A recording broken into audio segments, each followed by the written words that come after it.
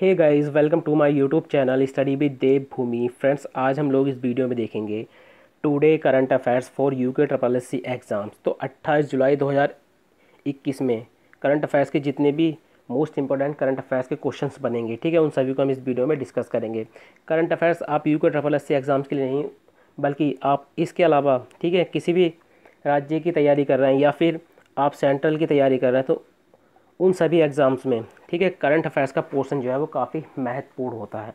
और आपको पता है जॉब पाने के लिए एक एक नंबर जो है वो काफ़ी महत्वपूर्ण होता है। गाइज़ अगर आप इस वीडियो की पीडीएफ चाहते हैं तो आप हमारे टेलीग्राम चैनल से इसकी पीडीएफ को फ्री में डाउनलोड कर सकते हैं। टेलीग्राम चैनल का लिंक हमने इस वीडियो के डिस्क्रिप्शन बॉक्स में दे रखा है, वहाँ क्लिक करके, ठीक है, इस पीडीएफ को डाउनलोड कर सकते हैं। अगर आप हमारे चैनल से जुड़ना चाहते हैं तो आप हमारे चैनल स्टडी विद देवभूमि को सब्सक्राइब कर सकते हैं। तो चलिए, ज़्यादा टाइम ना ख़राब करते हुए वीडियो को शुरू करते हैं। तो आज का पहला क्वेश्चन है, किसे नागरिक उड्डयन सुरक्षा ब्यूरो का महानिदेशक नियुक्त किया गया है? तो गाइज़ ये नियुक्त किया गया है नासिर कमाल जी को। नासिर कमाल जी का इस पद पर जो कार्य, कार्यकाल रहेगा, वो 31 जुलाई 2022 तक रहेगा।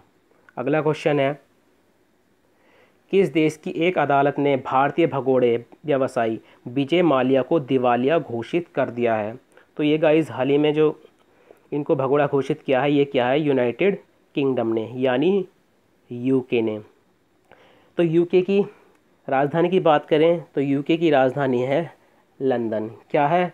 लंदन यहाँ की मुद्रा काफ़ी एग्ज़ाम में पूछी जाती है तो मुद्रा है यहाँ की पाउंड स्टर्लिंग क्या है? Pound sterling.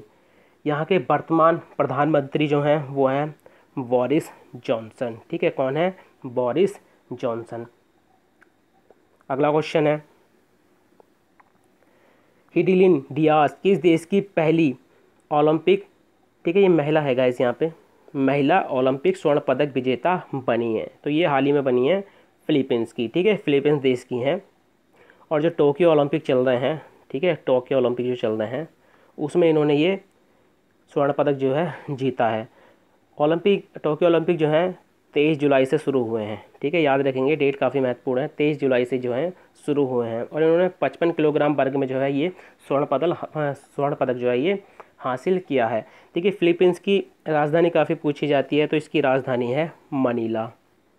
अगला क्वेश्चन है, मैंग्रोव पारिस्थितिकी तंत्र के संरक्षण के अंतर्राष्ट्रीय दिवस प्रत्येक वर्ष कब मनाया जाता है, ठीक है? मैग्रोव पारिस्थितिकी तंत्र के संरक्षण के लिए अंतर्राष्ट्रीय दिवस प्रतिवर्ष कब मनाया जाता है?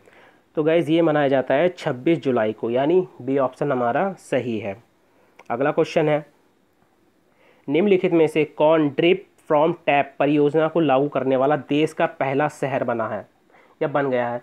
तो गैज़ ये बना है हाल ही में पुरी, यानी ए ऑप्शन हमारा सही है। और पुरी कहाँ का शहर है? उड़ीसा का, ठीक है? उड़ीसा का शहर है।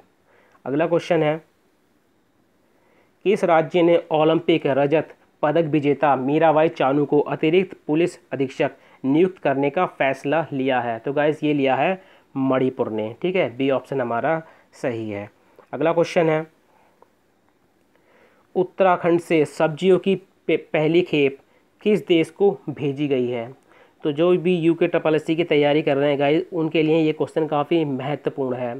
तो गाइज़ ये जो खेप भेजी है, ये भेजी है संयुक्त अरब अमीरात को, यानी सी ऑप्शन यू ठीक है? संयुक्त अरब अमीरात को।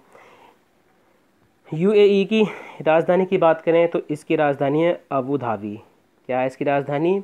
अबू धाबी है। और यहाँ की मुद्रा की बात करें तो यहाँ की मुद्रा है संयुक्त अरब अमीरात दिरहम, ठीक है? आपको मुद्रा भी याद रखनी है। अगला क्वेश्चन है भारत किस देश के साथ बारवा संयुक्त सैन्य अभ्यास इंद्र 2021 आयोजित करेगा? तो गाइज़ ये करेगा रूस के साथ। देखिए, जब भी कोई संयुक्त सैन्य अभ्यास होता है, उसका एक तो संस्करण काफ़ी पूछा जाता है, जिस वर्ष होता है वो, ठीक है? और किस देश के साथ आयोजित होगा वो पूछा जाता है। तो दोनों पॉइंट आपने याद रखने हैं, ठीक है गाइज़ अगला क्वेश्चन है किस शहर के पेड़ की पत्तियों वाले पासियो डेल प्राडो बेल बुलेवार्ड, ठीक है?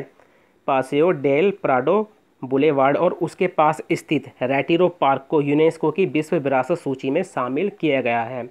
तो यह है गाइज़ मैड्रिड, ठीक है? मैड्रिड, ये तो ये क्वेश्चन आप याद रखेंगे, जब भी कोई यूनेस्को की विश्व विरासत सूची में शामिल किया जाता है तो वो क्वेश्चन एग्ज़ाम के पॉइंट ऑफ़ व्यू से काफ़ी महत्वपूर्ण होता है। मैड्रिड जो है, ये किसकी राजधानी है गाइज़ ये? स्पेन की राजधानी है ये। किसकी राजधानी है ये? स्पेन की। अगला क्वेश्चन है। केयर रेटिंग्स की रिपोर्ट के अनुसार भारत की जीडीपी चालू वित्त वर्ष में कितने प्रतिशत रहने की संभावना है? तो गाइज़ केयर रेटिंग्स के अनुसार जो है, भारत की जीडीपी जो रहेगी चालू वित्त वर्ष में, वो रहेगी 8.8 से 9 परसेंट। यानी डी ऑप्शन हमारा सही है। तो गाइज़ ये थे यू के ट्रिपल एस के लिए। करंट अफेयर्स के 10 महत्वपूर्ण क्वेश्चन जो आपके आने वाले एग्ज़ाम में आपकी काफ़ी मदद कर सकते हैं। गाइज़ अगर आपको वीडियो अच्छी लगती है तो वीडियो को लाइक करें, कमेंट करें और वीडियो को ज़्यादा से ज़्यादा शेयर करें। चलिए मिलते हैं अपनी नेक्स्ट वीडियो में। Thank you for watching